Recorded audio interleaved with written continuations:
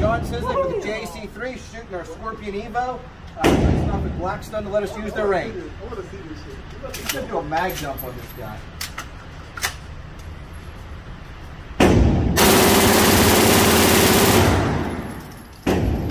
Now that seems to be a pretty good hole. They all went in the same